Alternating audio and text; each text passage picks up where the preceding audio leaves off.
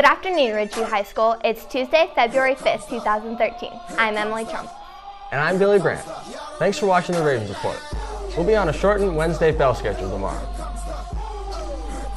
Tonight is a huge night for our basketball teams. Both the boys and the girls play at home against, guess who, the Redmond Panthers.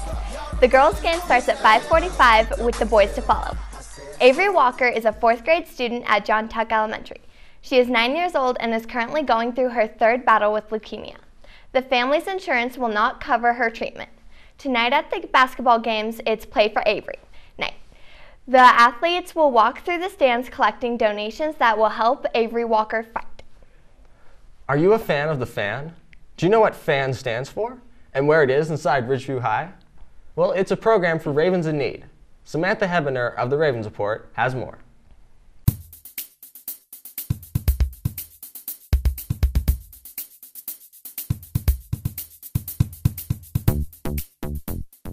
Ever need school supplies or even just a simple snack?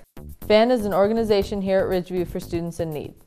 They can come in if they just need something. Um, I mean, I have all kinds of school supplies and clothes and things like that, and it's for the students. So any student can come and ask me for stuff, and I usually give everybody whatever they need if I have it. Going to FAN can help students with lots of needs.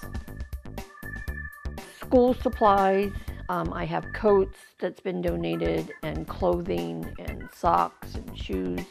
I have um, deodorant and shampoo, almost anything that you might need, especially at the high school level. To get to the fan room, you go around the library,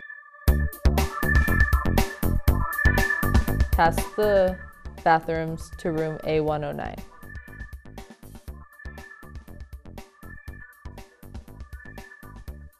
There's a fan person in every school in Deschutes County, and it's for fan.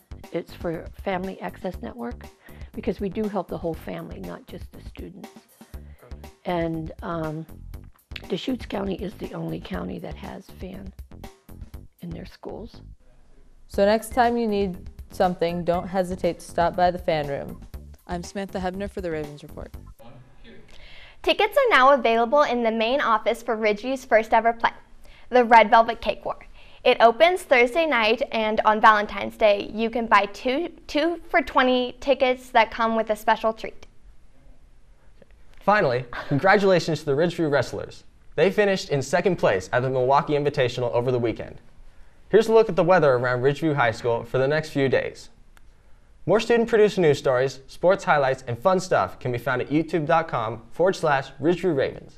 I'm Billy Brandt. And I'm Emily Trumpus. Thanks for watching the Ravens Report. We will be back tomorrow. Have an epic day and stay classy, Ridgeview.